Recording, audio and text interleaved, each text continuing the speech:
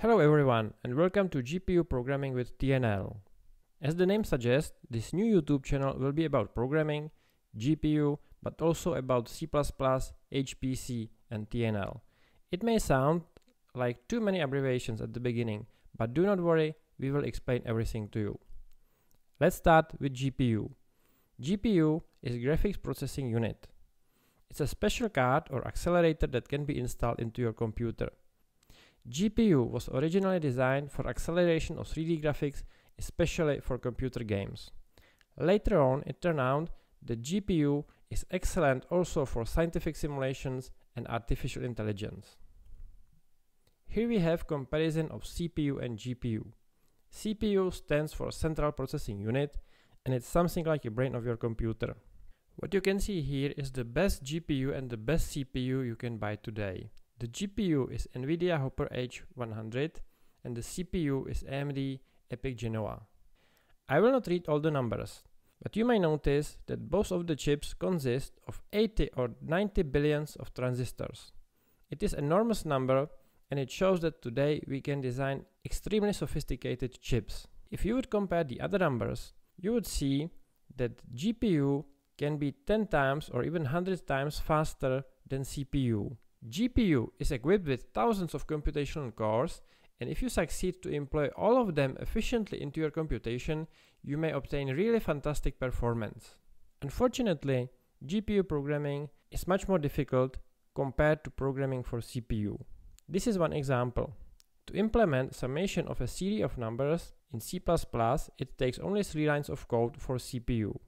But to do the same efficiently on GPU, one needs to write approximately 100 lines of code. This makes the GPU hardly accessible to those developers who are not familiar with the details of GPU design. To simplify the development of parallel algorithms, especially for GPU, we present TNL, Template Numerical Library. The main advantage of TNL is that you need only basic knowledge of a GPU to write highly efficient programs running on a GPU. In this YouTube channel, we would like to convince you that GPU programming can be easy and fun with TNL. The TNL webpage is located in www.tnlproject.org. TNL is written in C++, offering many cool features like number of easy to use parallel algorithms, easy and efficient operations with vectors and matrices, parallel solvers of linear systems, algorithms and data structures for the solution of ordinary differential equations and partial differential equations, and much more. The key feature of TNL is that you may write just a single piece of code that can run efficiently on both a CPU and a GPU. I also would like to stress that TNL is not a library just for GPU. TNL is a general library for HPC or high performance computing and so it includes support even for multi-core CPUs and distributed clusters with CPUs and GPUs. Let's set up TNL now. I will show you how to install TNL on Linux. The installation process for macOS is the same. TNL can also be installed on Windows, but I will not be covering that in this video. What do we need to successfully install TNL? Firstly, you'll need CMake version 3.24 or later. You will also need a C++ compiler like GCC version 8 or later, or CLang version 7 or later. For GPU programming, you'll also need to install CUDA version 11 or later. Usually, all of these are part of your Linux distribution. The link for the CUDA toolkit can also be found below this video.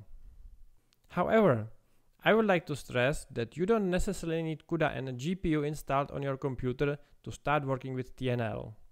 TNL offers a unified interface for both CPU and GPU, so what you learn for the CPU can be applied for both. The first step is the cloning of TNL from the official GitLab repository. You can do it with the following command. The second step is the installation of TNL. This can be accomplished simply by executing the script install in the TNL directory. Since TNL is a header-only library, it is sufficient to just copy all the header files into your system, which is exactly what this script does. You can also execute it with the parameter all. In this case, additional tools which are part of TNL will be installed and benchmarks, unit tests and documentation will be compiled. Do not forget to check that the system variable path is properly set in your .bashrc file. This variable should contain directory home slash .local slash bin, which is the directory where TNL is installed by default. So let's execute the install script now.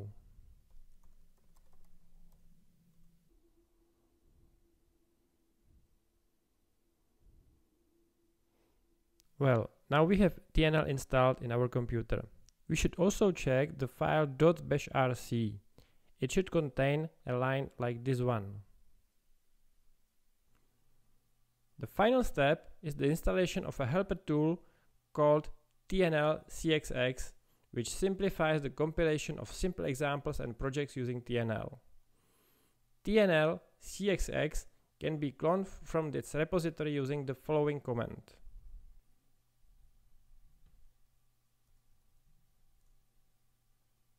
Next, we just need to copy it into folder home slash dot local slash bin. For more information about TNL CXX, you can visit its webpage on GitLab. And now we are ready to run our first program on a GPU. Below this video, you can find a link to a zip file containing this presentation and a simple source file.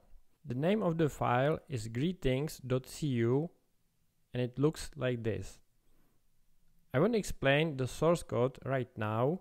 Instead of it, we will just compile it using TNL CXX. The source code was successfully compiled. A new application called greetings appeared in this directory. We may now execute it.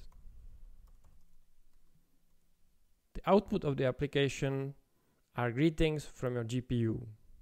And that's all for today. I hope you enjoyed this video and that you will also try out TNL. If you can wait to run your first program on a GPU, visit the TNL User's Guide. The link is also below this video. Or subscribe so you don't miss the next episodes. Until then, happy coding and goodbye.